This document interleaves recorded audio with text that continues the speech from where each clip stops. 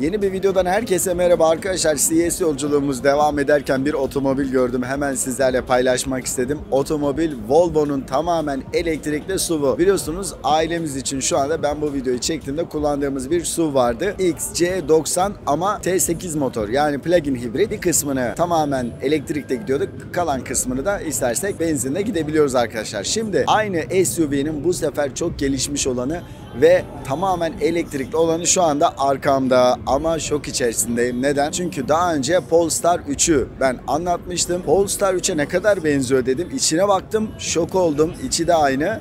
Bazı farklar var onları anlatacağım. Şimdi aracın etrafından dolaşmaya başlayalım. Bu arada Talha ile çekiyoruz arkadaşlar bu videoyu. Teşekkür ediyorum kendisine. Dostlar şu anda Volvo logosunu görüyorsunuz. Volvo deyince güvenlik biraz ön plana çıkıyor. Çok sağlam Volvo'nun o İsveç markası olduğu için gerçi her ne kadar Çinler satın almış olsa da İsveç çeliği o sağlam çelikte tabii ki ön plana çıkıyor. Şimdi bunlarla beraber hani sağlam bir kasa tıpkı Atatürk'ün söylediği gibi sağlam beyin sağlam vücutta bulunur. Şimdi aynen sağlam buradaki çelik sağlam yazılımla bir araya geldiğinde hakikaten güvenli bir sürüş deneyimi yaşanacak arkadaşlar. Burada farı görüyoruz. Far tasarımı çok farklı. Şimdi T yani yan yatmış bir T aslında T değil o bir çekiç arkadaşlar. Torun çekici olarak adlandırıyorlar. Ama bakın bölme bölme Altta da yine böyle bir ünite var. Jantımız ve lastiğimiz elektrikli otomobile özel bir tasarıma sahip ve sessiz sürüşü devam ettirebilmesi için özellikle seçilmiş. Tabii ki jantın farklı farklı seçenekleri olabiliyor. 21 inç, 22 inç gibi farklı seçenekler olabiliyor arkadaşlar. Şimdi bu tarafta çok anlatacağımız bir şey yok. Yan tarafa geçtiğimiz zaman aynalarımızı görüyoruz. Gel Talha bu taraftan aynayı çek. Aynada çok güzel bir detay var çünkü. Bu aynada arkadaşlar çerçeve yok. Gayet güzel görünüyor.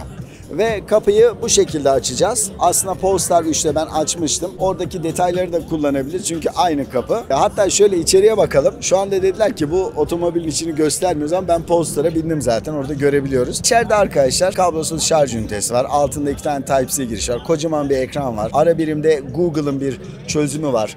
9 inçlik e, sürücünün karşısındaki ekran var. İçeride çok güçlü bir ses sistemi var. Her şey Polestar 3'le aynı. Zaten ben size anlatmıştım. Peki diyeceksin ki abicim bunun Polestar 3'ten farkı ne? Bu arada Polestar markası bu Volvo'nun da içinde bulunduğu çatı şirketin bir başka markası. Polestar için Volvo'nun tamamen elektriklisi diyorduk ama şimdi nasıl ifade edeceğiz tam anlayamadım. Çünkü Volvo'nun gerçekten elektriklisi burada. Polestar 3'e de çok benziyor. Farkı nedir diyecek olursanız burada ikinci sıra koltukları da görüyoruz ama üçüncü sıra koltuklar hemen burada bizim karşımıza çıkıyor arkadaşlar. Şu anda üçüncü sıra koltukları görüyorsunuz arkadaşlar. Volvo EX90'ın Polestar 3'ten en büyük farkı tamamen buradaki üçüncü sıra koltuklar. Geçiyoruz bu sefer arka tasarıma. Arka tasarımda da far yapısı Polestar 3'ten farklı arkadaşlar. Ama biz Polestar 3 ile kıyaslamaktan ziyade şöyle algılasak daha iyi olur.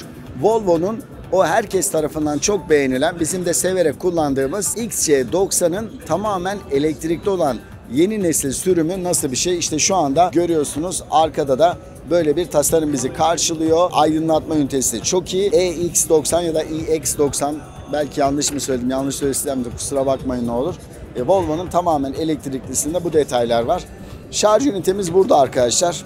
Açtığımız zaman CCS şarj ünitesini görüyoruz. Kapatıyorum tekrar. 22 inçlik jantlarımız burada. Bazı notlar var. Onları da ekledikten sonra bu videoyu tamamlayacağız arkadaşlar. Merak ettiğimiz konu acaba işte biz bu otomobile ne kadar gidebileceğiz? WLTP sonuçlarına göre tam dolu bir şarjla 600 kilometre boyunca gidebiliyoruz. %10'dan %80'e de yaklaşık yarım saat içerisinde şarj olabiliyor.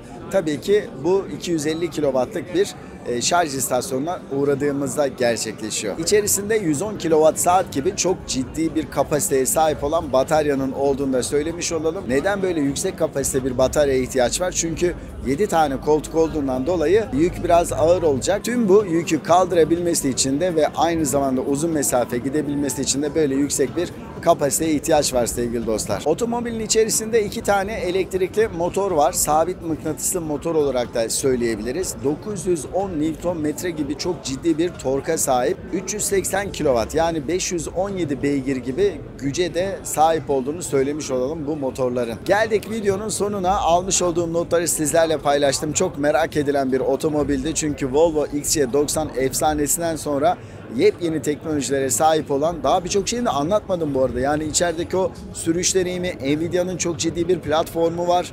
Ee, daha sunmuş olduğu çok akıllı bağlantılı yöntemler var. Daha değinmediğim bir sürü akıllı çözümler var. Onlara da artık sürüş esnasında lansman sırasında sizlerle paylaşmış olacağım arkadaşlar. Merakla bekliyoruz. Bakalım ülkemize ne zaman gelecek? Geldiğinde kaç para olacak? Özellikleri neler olacak? Bağlantılı imkanları kullanabilecek miyiz? Hep beraber göreceğiz. Videoyu beğenmeyi unutmayın ve otomobil hakkında yorumlarınızı lütfen aşağıda paylaşın. Hoşçakalın.